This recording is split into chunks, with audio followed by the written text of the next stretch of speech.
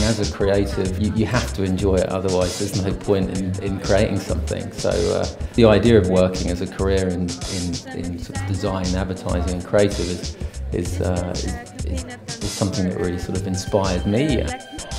To come up with something new, you need to understand what's been done before. You learn that a lot of the times from being with other creatives that have been working in the industry.